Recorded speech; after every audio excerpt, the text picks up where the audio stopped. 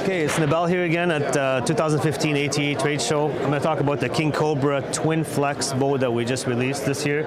Uh, we had the King Cobra out about three, four years ago, and uh, we retired it for a bit to rework on it and make it more improved. And this year we are releasing it again.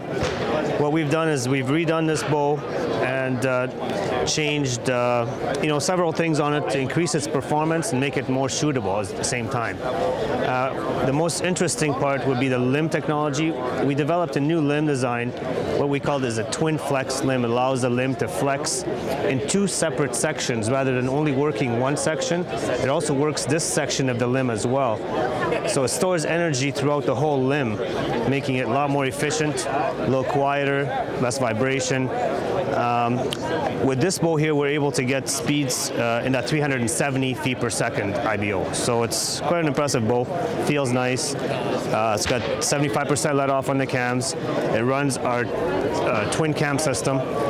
Um, and it has all the APA features that you'll find with like the fang riser, the carrying handle, cam lock system, and uh, so on. So that's the one to look at.